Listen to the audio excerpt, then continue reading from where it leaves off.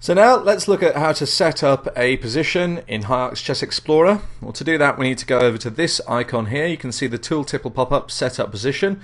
Click that once, you get the set up position window. You get a smaller version of the board which obviously you can uh, set up the position on that. There are a few ways of doing so. You can just move the pieces uh, however you like and then click OK to set up that position.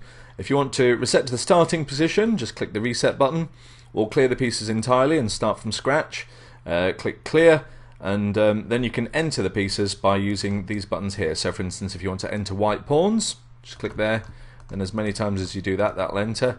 If you click again, the pieces will disappear.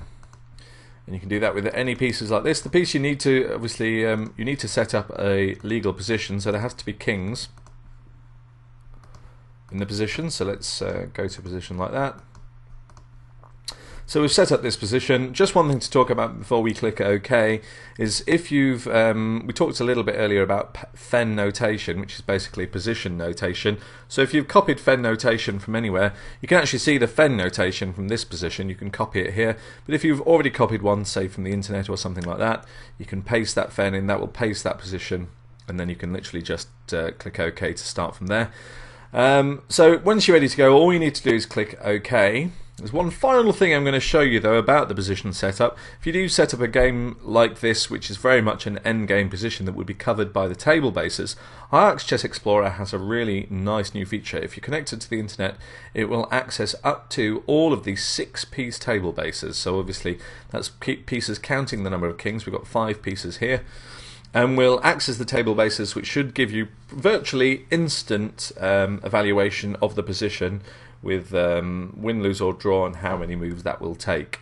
Um, a lot of people used to have table bases on the computer, but now, thanks to uh, fast internet and big servers, you can have all the table base files on a server like they do for HiArcs. So when I click OK, this position will appear on the board, and because it's an endgame position, there we go. It's already accessed endgame table bases. We're not even switching HiArcs on. It does this automatically.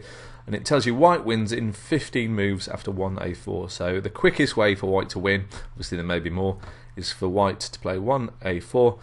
And white will checkmate in 15 moves. You can find out more information by clicking there. So uh, that's really how to do position setup, and obviously the very nice feature if you're doing endgames that would be covered by the table bases. HiArcs will ac access them almost instantaneously from their online server. The fantastic position setup feature of HiArcs Chess Explorer.